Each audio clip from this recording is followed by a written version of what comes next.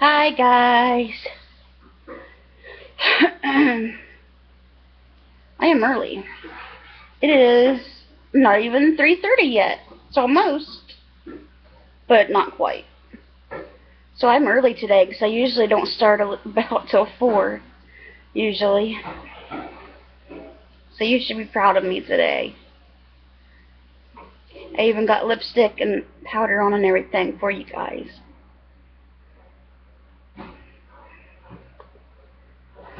Feel a little better today, but today I got up and the strangest feeling that I've not, I've only had, you know, when I'm really dehydrated, but besides that only had once, and that's when I get sinusitis or whatever it's called. I was super, super dizzy. Like I couldn't even walk from like here to there without about falling over. And I'm like still a little woozy, but it's going away now, thankfully. It's actually starting, you know, to feel like it's going. Because I thought I was going to have it all day long, and I'm like, oh my gosh, what is this? What is going on? It was freaking me out. And my pupils, I went to the bathroom, looked at my pupils. I thought maybe I was going to get a migraine because I had a headache at the beginning too. And I I thought, oh, I'm going to have my migraine shot. Then I thought, well, no, let me try some aspirin first. So I um, took a couple aspirin, and I can't remember if I took a nausea pill with it or not because I was feeling kind of sick. You know, when you feel dizzy, then it, made you feel sick. And it just real woozy. And anyway, I went to the bathroom. My pupils they were going from real tiny to real big, real tiny to real big, real tiny to real big. Just and it was like freaky looking, and it felt so weird. It was just like every time they did that, my head was just like whoa, and I felt felt I don't know how many times. I'm like, what is going on with me? And my headache, um, it didn't get no better with aspirin. So a Sherm came in and gave me my um, shot. Um, I can do it myself if I do it in the leg. I can do it in the arm, but it's really difficult. And I tend to bleed really bad when I get it. So, and I have to kind of give it in the back of your arm. So it's kind of hard to do. And I really didn't want to give it in my leg because I thought, you know, it seems to work faster if you give it in the arm. And I could feel it immediately going right to my head. And it helped with my headache, of course, like it, it always does. I love them. I, I gotta write that on my paper to tell my doctor and thank her for giving me those. I keep forgetting to. I've been there once since then. I forgot to mention it, and I was like, oh my gosh. I forgot to tell her how much those shots helped me. So much, so much. The pills wasn't doing anything. And they, but like the shots have really changed my life with the migraines. I mean, it's, you could just feel it immediately start working in your brain. I mean, it's weird, but it, it helps. It works good. Um, yeah. So it just kept up. But the headache got better, but the dizziness was still there. And I don't know why, but it's finally starting to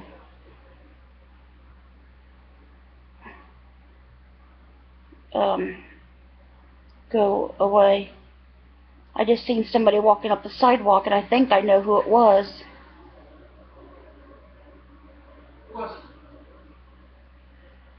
See if you hear somebody go in Garnet's door.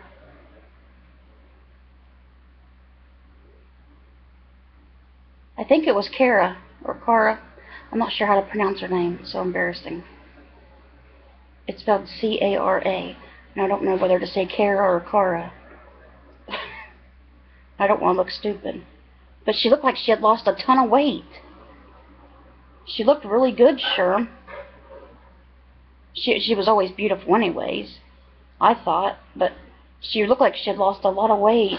I seen on Facebook where she had been walked. She's been walking a lot and stuff, and I thought maybe she was trying, but you know I wasn't going to ask because I was trying, and you know how that goes. I just wished I had her willpower, because wow. She's looking really good. I know that was her. because I've been seeing her pictures online, and she's, I can really tell that she's losing weight. She's looking really good. Of course, she did before, like I said. I just wished I had that, um, her willpower and motivation. At one time I did, and I did so good, and I hate myself so, so much for giving up. My doctor was so proud of me, and I didn't go to the doc after I had got into a bad depression and fell off the wagon, I guess you could say. I had lost over 50 pounds. And I, I was I went from not being able to hardly walk at all to being able to walk over a mile a day. And I still could have walked more and more if I wanted to, but I wanted I just timed. Yep, that's her, I think. I still um timed because she just walked back out. I um I had one of those pedometer thingies, whatever you call them, and I would uh you know just record to a mile. Then you know I'd put my mile down for the day, but other time would just keep walking. You know, certain days I could walk more and more. I could walk more than just a mile, but I was walking a mile every day at least, and I felt so good, better than I have in my entire life that I can remember. Um, I felt so good. My health was so much better. My doctor was so proud of me that she said she was going to have me be a spokesperson for it because she said, you know, how are you doing it? And I said, I'm just doing what you told me to do by watching my calories and stuff because I never really knew, you know. I uh, my I always did these fat-free diets and stuff, and nothing ever seemed to help. And my doctor said, you know, you you got to watch your calories.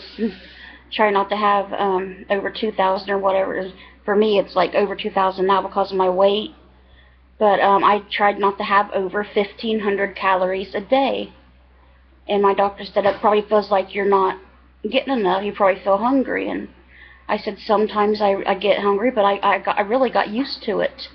And uh, um, little stuff, smaller stuff would fill me up more, and I would start craving um, like healthy stuff for me instead of junk. And like if I wanted something really sweet, I, I wouldn't deprive myself. I would get um, chocolate um, yogurt ice cream at Kroger's you know, their their brand for like 99 cents in in a little box you get, and it's the yogurt, so it's better for you. And I you could put like two tablespoons of that in a waffle cone and have that for 150 calories. So when I was wanting something really chocolatey, which I crave a lot, so but I didn't eat it a lot, but I, I crave chocolate a lot now. But then I um, did that, and it would satisfy my sweet tooth and I was so proud of myself. I kept a journal of what I had ate and how much I had walked every day, and I did so good. And then I went into a bad depression and started eating and not walking. Got worse than ever.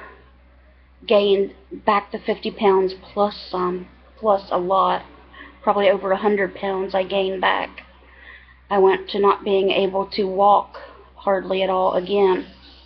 I can barely get from the farthest I go walking is from um, our apartment to the curb out here to get to our vehicle. Um, or from the waiting room at the doctor's office to her room, which is not that far. That's the farthest I walk without my wheelchair. And it's not just because of my lungs because it takes my breath and my heart, but the POTS syndrome races so, so fast, and I get sick when I'm up for too long. And, but I know that would get better because when I was walking here a while back, trying to walk up the hallway at nights to get a little bit of exercise when I was trying to diet, and I was losing weight, I'd lost nine pounds.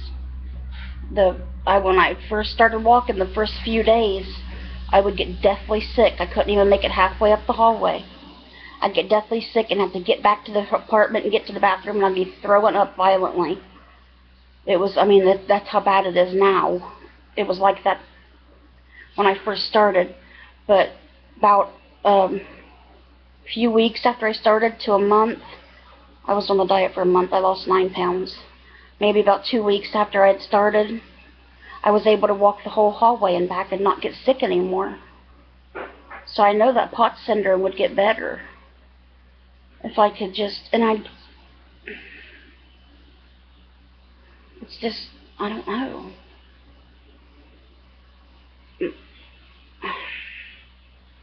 I wished I was able to walk, to walk to get exercise with my lungs. It's hard.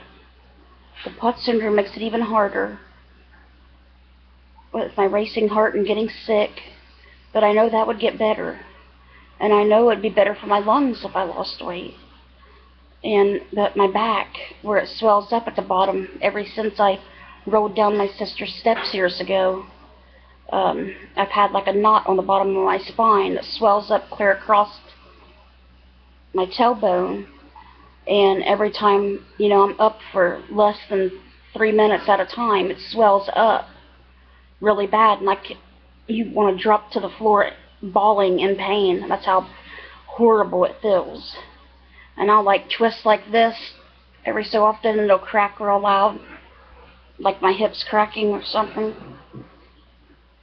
but it pops all the time and by watching these chiropractor videos I've been watching, I think it's my sacrum, the thing that's right above your tailbone, because my I had my doctor x-ray my tailbone to check my tailbone to see if I'd hurt it when I fell down the steps, maybe. This was years before, but it had been acting up ever since then, because back then I was scared to death of the doctor and wouldn't never go. but she said my tailbone was fine, so now I learned that your sacrum is what they usually try to fix at the chiropractor. But when I went to the chiropractor, all they did was put a massager on that area down there and push on it. They didn't do the correction that I see them doing online. And I don't know if they could even do it on me because I'm so big, you know. I don't even know if they'd even let me on their tables now. Because I'm sure they got a weight limit. But, yeah, anyway, I was afraid, back to the story, I was afraid to go back to my doctor after I had went into the depression and gained all that weight back. Um, I hadn't been there in months because I was so ashamed and I did not want to disappoint her. And the day I had to go back, I had to because I think I had a really bad UTI and I had to go get antibiotics. I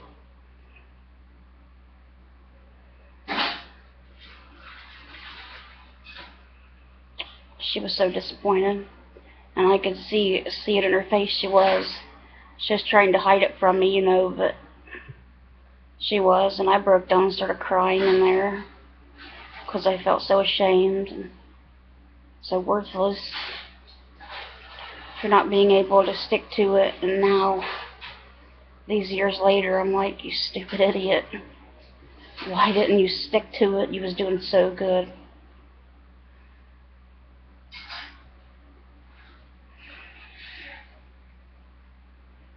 and I try and try again, and I, I don't eat. Some days I don't hardly eat nothing because with my gastroparesis, my stomach disease, some days all I can eat is this applesauce or crackers. But I drink um, Pepsi. I was when I was doing that diet, the first one and the one here a few months ago where I'd lost nine pounds, I gave up pop was drinking coffee, but it's hard for me to do because coffee on I can drink it sometimes and I'll be okay, but a lot of times it like upsets my stomach and it makes me sick and then I'll just throw it right back up. So I don't really work that well with coffee. So I know a lot of my calories come from Pepsi come from pop because there's 150 calories in a can. And of course, where I'm just pretty much um, immobile, where I'm just sitting here all the time, is not, you know, making the weight come off. but, um, I don't know. I just I see them advertising these new diet pills on on TV. This Vel Velvic or something it was. I was going to ask my doctor about it. I'm like, oh, I can't believe this. It's supposed to um, help you lose weight and help keep it off. And I thought, oh, okay, I'm going to ask my, my doctor about this. And then at the end, it's like, tell your doctor if you take any medications for depression, any antidepressants, any migraine medicines, and blah, blah, blah, because it could um, have severe fatal uh, side of consequences, side effects, blah, blah, blah, whatever. And, um, I take all of that. So I thought, of course. So, and I thought, well, what's the chance of it working anyway? I really wanted to have the gastric bypass done. I qualify for it. My doctor wants me to have it done. But the only place that you can get it done around here closest is Columbus. And I can't never find anybody to take me there because you have to go several times I went to one of the seminars. A transport place won't take you because the seminars and stuff are not paid. It's they're free, so they don't get paid for it. So I can't take the transport place. I've already asked. So, you know, in case anybody thinks of that, I've already been through that. Um, I got to go up there once. My sister took me. Um, we went to the seminar they was they was calling me, wanting me to come back in like a few days later, because I was like one of the biggest people in there, and um, they was wanting me to come back. And but you got to go to like a nutritionist like four times, a psychologist like four times, and then these certain different doctors to get all these tests four or five times. And there's nobody would take me to Columbus all the time like that. And I don't blame them, you know. Who would want to go back and forth to Columbus all the time, you know? Um, and our our vehicle would not make it. It barely makes it to Jackson and back, and we hardly ever get to go to Chillicothe. The only time I ever went there is when I got Dottie's medicine at the vet that she was at, which we go to a different vet now, closer in Jackson. And um, when I went to the Dollar Tree, but now they got one of them in Jackson too, so we don't, I don't have to go back to Chillicothe anymore unless we go, I go to the hospital for my doctor appointments. So, because our transmission's going out of our truck, and, um, yeah, so it, like, does not do very good going to Chillicothe and stuff. Um, I made some stones last night. I'm going to show you guys here in a minute. I thought I'd make some stones. I've been wanting to for a few days, and I hadn't. I kept putting it off. I'm like, uh, I don't feel like doing it right now. But I did make some last night. I think I made six, guys.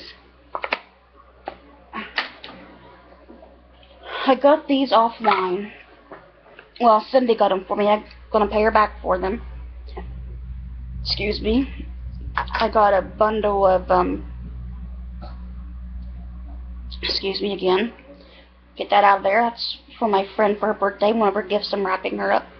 Um, I got this for my friend off there. She's, um, she's a nurse at my doctor's office, and it's an, it's an old, um, it's an old badge, and it's about nursing. I thought it was cute. I thought she might like it to wear on her outfit. But um, I got they had this, she had this box of stamps. I couldn't tell if they were stamps or stickers, but all this stuff came together for three dollars, and it had lots of necklaces and stuff in it. I gave them back to Cindy so she could sell them. I basically just wanted these um, stickers or stamps and this little nursing badge from um, my nurse at the doctor's office. But these are all stamps, and I was going. I wanted them to put in stones. So I'll show you guys stamps I got. These are all from 1998 because they're all dated and stamped on. They're, they've been used.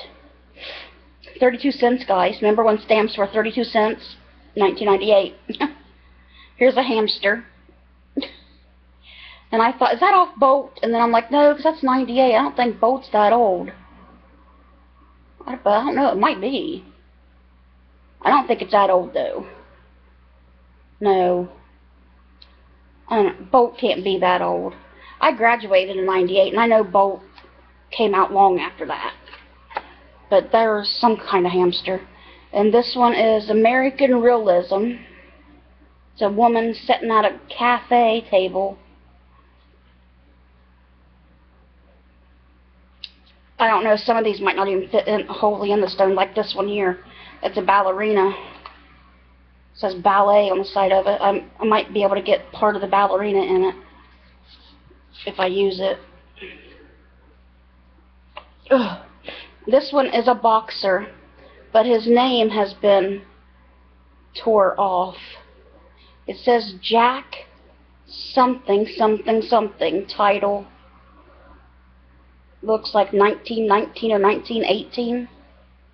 But anyway, it's, he's white and got brown hair and looks like this. So an old boxer. Jack Dempsey. Jack Dempsey. I thought that kind of said Dempsey because my cousins are Dempseys and my aunt's a Dempsey. And I thought, that looks like it says, might say Dempsey. And I'm like, no. So there was a Jack Dempsey boxer? Yep. Then I would say that's Jack Dempsey. This one I really liked. Um, it's called Construction Toys.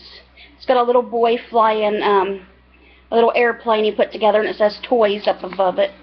I thought that was really super cute. That'll look cute in a stone, I think. This one is a hummingbird and a flower.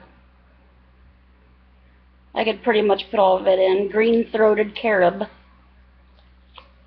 And there's just another ballerina one, same as the last one. And a yellow rose, my mom's favorite color rose, yellow.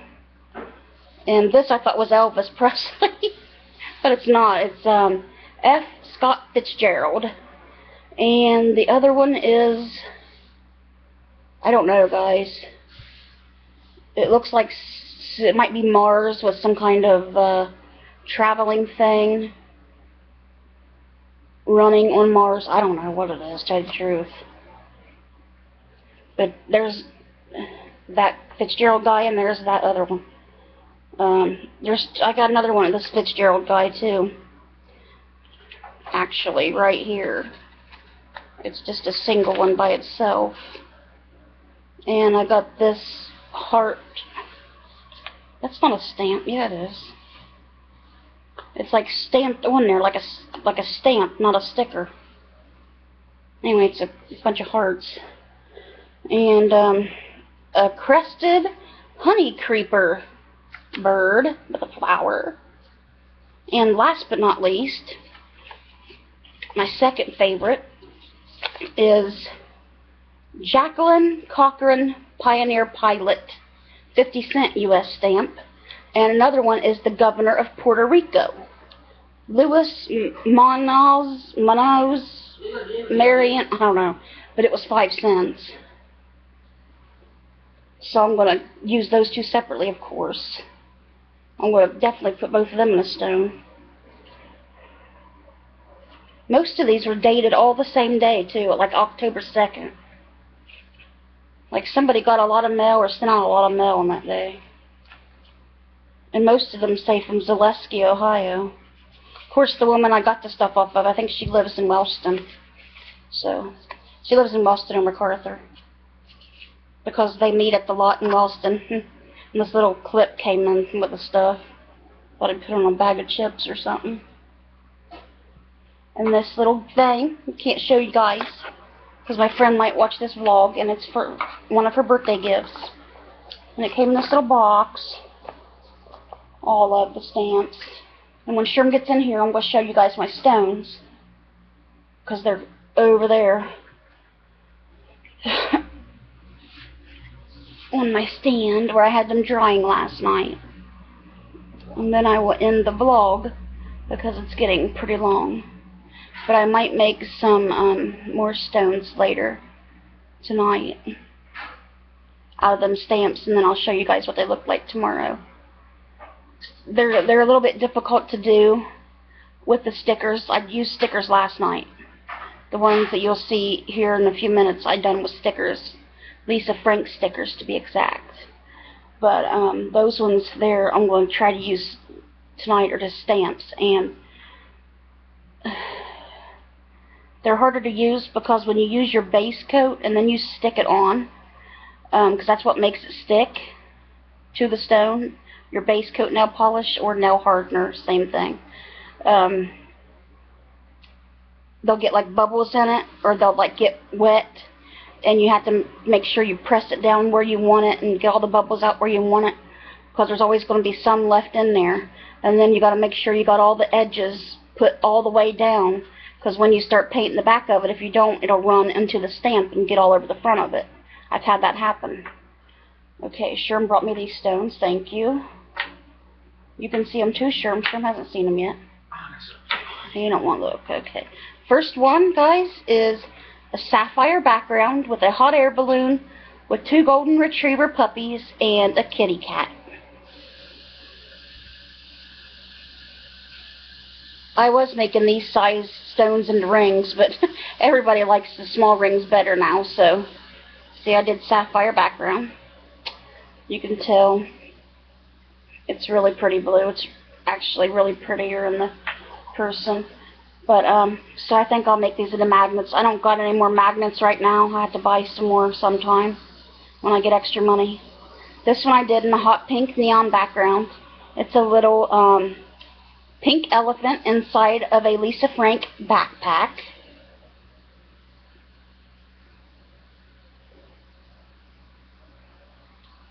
Thought he was cute. This one I did in the sapphire background as well. And it's a little pig float. It was swimming in a swimming pool, so I used a blue background. He's floating on a float ring.